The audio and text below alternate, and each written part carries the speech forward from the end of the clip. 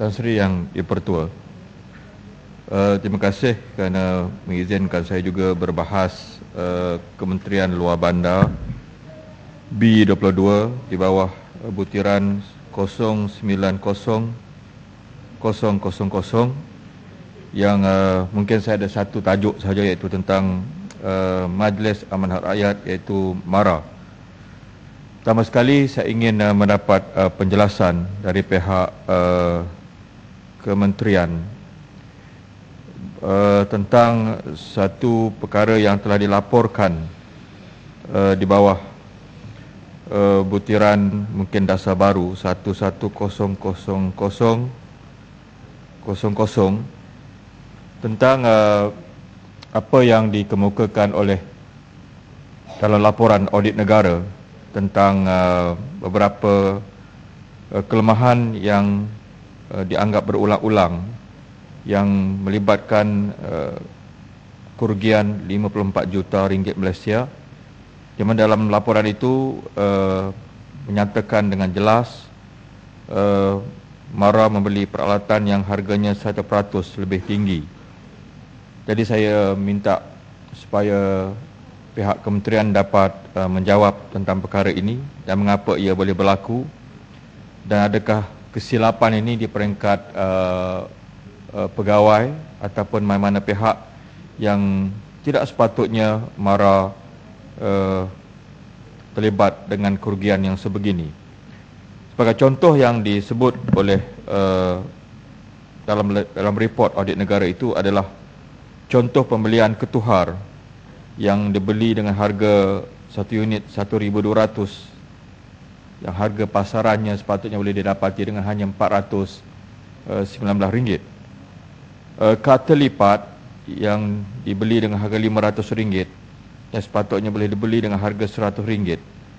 Dapur gas yang harganya RM200 yang sepatutnya boleh dibeli dengan harga RM59.90.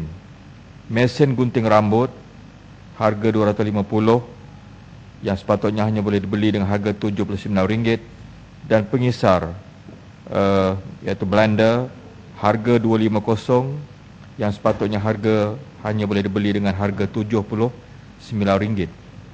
Ini dijelaskan dalam uh, laporan audit yang melibatkan uh, jumlah keseluruhan hampir 54 juta ringgit Malaysia. Angka ini terlalu banyak ya, bagi Mara yang saya rasa dengan jumlah yang sebegini kalau dapat dijimatkan, dibelanjakan dengan cermat dan uh, kalau ada kecuaian ataupun ketirisan di peringkat mana sekalipun saya rasa tidak perlu berulang-ulang sebagaimana yang disebut oleh dalam dalam dalam laporan audit. Di samping uh, menjelaskan perkara ini, saya ingin mendapat kepastian ianya di kesilapan di peringkat mana? Di, di peringkat pegawai ke ataupun di peringkat uh, mana yang seharusnya ianya tidak diulangi dalam pada masa-masa yang akan datang.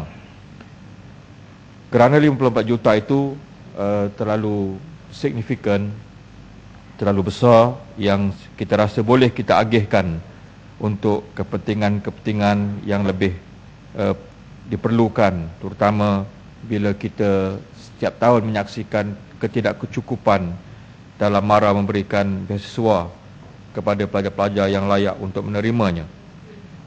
Saya rasa dalam uh, konteks ini saya merasakan uh, saya ingin mendapat penjelasan uh, tentang uh, berapakah jumlah beasiswa yang uh, dapat di dianugerahkan oleh MARA bagi tahun kemasukan ke IPTA uh, tahun ini yang saya harap uh, sama ada kemasukan itu dalam IPTA eh, dalam negeri dan juga tajaan MARA pada pelajar cemerlang uh, untuk mendapatkan tempat di luar negara.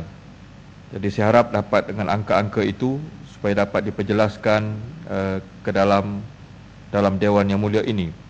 Demikian juga saya ingin mendapat kepastian daripada uh, program-program yang di bawah butiran 00602 daripada Maktab Rendah Sains Semara sampailah kepada 06 00616 tentang UNIKL di mana uh, kita harus uh, memberikan perhatian terhadap uh, potensi pelajar-pelajar kita yang berada di peringkat uh, pengajian tinggi ini di bawah uh, MARA ini dan saya ingin mendapat uh, beberapa uh, beberapa penjelasan dari pihak, pihak kementerian tentang uh, tentang UITM sendiri adakah kerajaan bercadang untuk menambah lagi bilangan-bilangan kampus di seluruh negara yang memandangkan ketidakcukupan tempat bagi pelajar-pelajar khususnya Bumi Putera untuk melanjutkan pelajaran mereka. Dan demikian juga di kawasan saya ada sebuah uh, Maktab Sendaran Sains Semara Pasir Tumbuh yang saya juga menyaksikan uh, perlu kepada pembangunan uh, bangunan tambahan bagi menam, yang saya rasa boleh menampung lagi jumlah pelajar-pelajar yang mungkin dapat belajar khususnya di MRSM Pasir Tumbuh ini. Jadi uh, atas perkara itu Tuan Sri Pengusi uh, saya merasakan saya perlu mendapatkan beberapa penjelasan daripada, daripada pihak kementerian. Terima kasih. Terima kasih. Tenggara